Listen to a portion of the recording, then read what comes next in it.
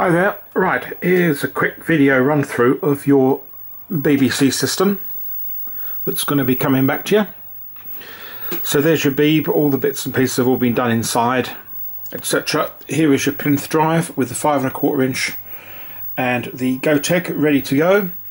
You've got two switches on the front of the plinth drive. This one here is 4080 switch for the floppy this one here would have been a 4080 switch for this drive, but obviously we changed that around. The Gotek doesn't have a 4080 switch.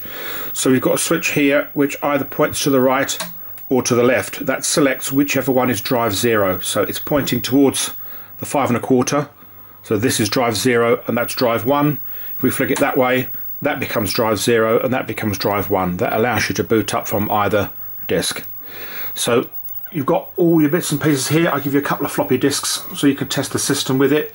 You've got the speech system user guide, ADT guide, basic editor, disk filing system and Xmon as well. You got some instruction leaflets here for the Raspberry Pi CoPro. A leaflet on the floppy drive and just a warning about using mouldy disks, but have a read through of that. And the leaflet on the Gotek USB emulator. So what we'll do is we'll pop that onto the screen and we'll give it a whiz. First off, let's pop something into the Gotek. So we can see on that, you get this USB stick with it and it's got loads of stuff and bits and pieces on. Let's do the first test, which is always a popular one.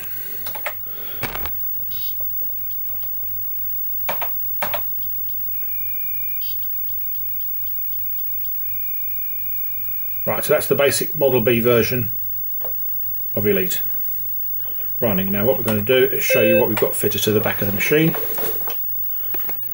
Hopefully the camera is going to show you two switches here, one, two.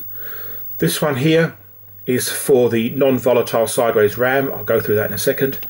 This one here is for the second processor. So if we flick that down, let's now turn the second processor on and now do a control break you see that light at the top has changed to Acorn Tube 6502 and if I now boot up Elite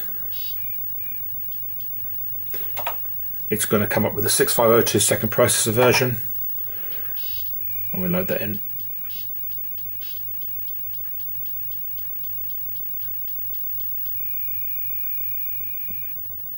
And that's now the co-processor version and that's running at a seriously faster speed than a usual CoPro would run.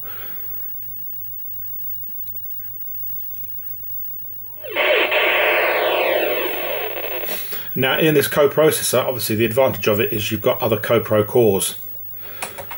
So while we've got the coprocessor on, one thing I have put in here, if we do star ROMs, we'll see what you got. You've got your DFS, ADT graphics extension ROM, which after our discussions is now disabled by default.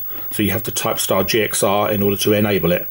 Your basic Xmon 2 Combi ROM, which is part of the ADFS auto load along with 2 basic editor. And I've also put in Z80 basic here, which means at the moment it's got 6502 basic. If we enable the Z80 core, which is FX, remember the commands it. 151, comma 230, comma 4. Z80 core and it boots straight into basic. So we've got the um,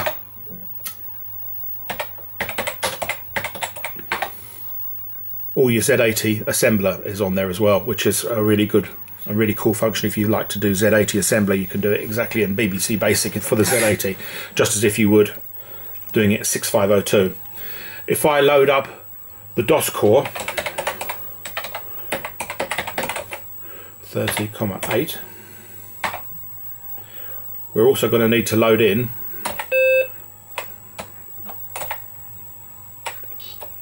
but we're also going to need to load in the ADFS. So we're going to need YADFS here, which is the standard version of ADFS. Now, what we want to do here, let's escape that first of all, because we need to set up. We can't load the DOS off Elite.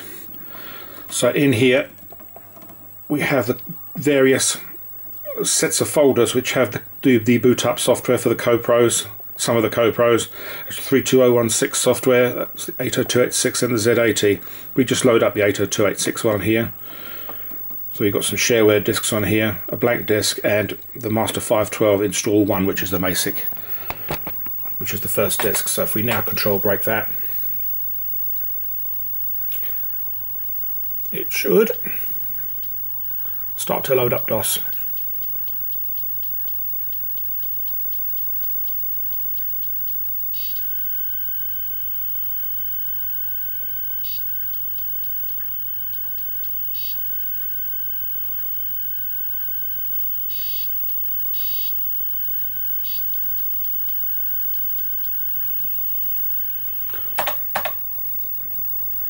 And there we have it. What I'm going to do is change it to Master 512 install disk 2. If we then DIR that, that's the disk with gem on. So if I start gem,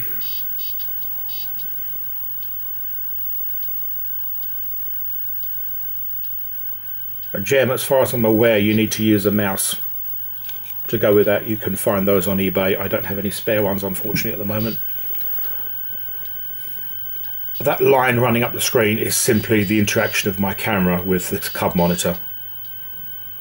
Watching it in real, there's absolutely none of that flashing whatsoever. So just bear that in mind. Some cameras don't like don't like CRT monitors. But there we go. So that's the gem system loaded, and I can't do anything else with it because we need to pretty sure that we need to use a mouse. I don't think it uses keyboard shortcuts. If someone knows different, then please let me know. So what we'll do is we'll come out of that. We'll turn the coprocessor off. I'm going to clear that ADFS. And the last thing I'm going to we're going to do is we're just going to check the floppy disks here. So if we pop a floppy disk in, I've done a couple of discs with games on. So it's set as drive 0 and drive 1. So if I do star dot 1, it will then load up the floppy disk. If I swap that over, star dot 0 now also gives me the floppy disk.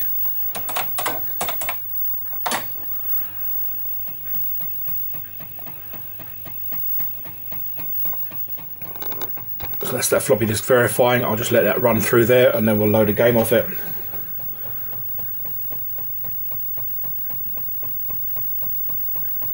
Again, that flashing that I can see on the screen is just the way the camera is interacting with the cub.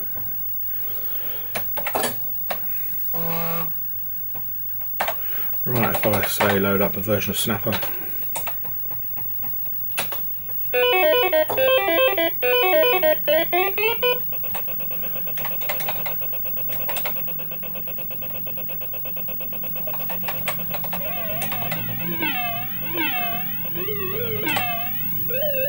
Right, we won't play that through the whole way. Right, and there we go. I think that's everything. If there's anything else you need to know, obviously you can message me at the time.